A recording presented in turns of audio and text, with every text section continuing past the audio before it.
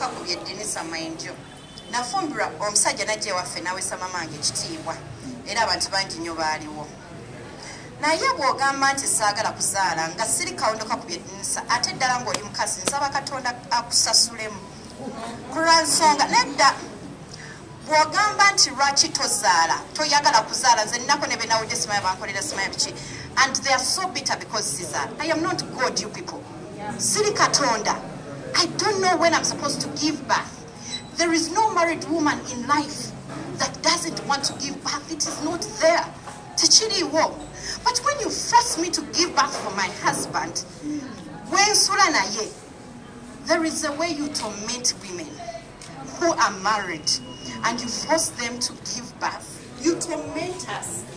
I know you want negative energy all the time, but every time you to be the tubireke abakyala tulekerawo okubuuza abakyala bannaffe when they are giving birth. It is very tormenting. Tukuma me one thing i can tell you is nze sifaayo biki bye muvuma because sigwe gusoose muvuma ebintu bingi nnyo and i've never come out to answer anything.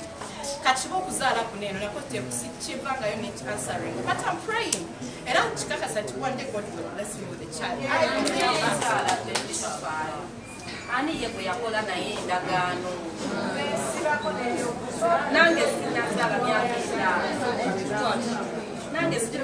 Okay. Um, yeah, it is emotional.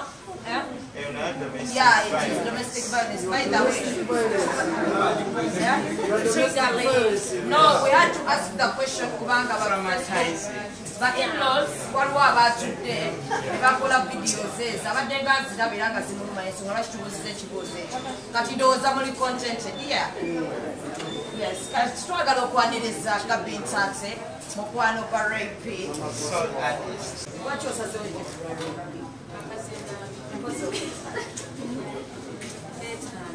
Ah, ngenda kuddamu ebibuuzo ebyo. Ah, lwaki nsazeewo kyefaanaganya ne rape in common bwe mukwano? Bwe mukwano. Ekiringa ekitugatta okusinga bwe mukwano twagala abasajja baffe wawulire yakwata ku siriimu dadi gye yakomenkereza omusajja owange tasobya takwatibwako so kyekitugatta ekyokubiri shes hardworking young girl. Abawala abali myaka gya raipi ogwamalaaya kati basukula busukule they don't want to work.